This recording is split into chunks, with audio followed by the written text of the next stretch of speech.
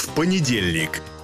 Ты в конце концов найди себе кого-нибудь. Ну, женись ты, елы-палы. Вот сколько живу, всем нужны только мои деньги. Пока ты молод и богат, кажется, что деньги решают все. Хотите, я наспор охмурю пять баб за неделю и подам с ними заявление в ЗАГС. А потом сообщу, что денег у меня нет. А я согласен. Договорились. На щедрое наследство обязательно найдутся ушлые претендентки. Знакомься, это Ксю. Выходите за меня замуж. Я согласна. Будьте моей женой.